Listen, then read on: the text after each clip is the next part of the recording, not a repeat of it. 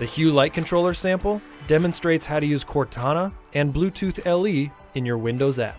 Hue, turn the lights on. With Cortana, users can interact with their Philips Hue lights in a natural and conversational manner.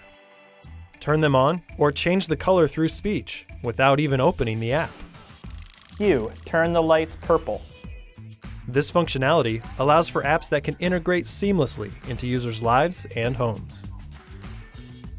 The Light Controller sample illustrates how to add Cortana support by creating a VCD file, dynamically extending its phrase list, and appropriately handling callbacks from Cortana. The app also demonstrates the usage of Bluetooth LE for proximity detection. Through the usage of a Bluetooth LE advertisement watcher, the app is able to turn the lights on or off automatically as the user approaches the app that is listening for the Bluetooth signal.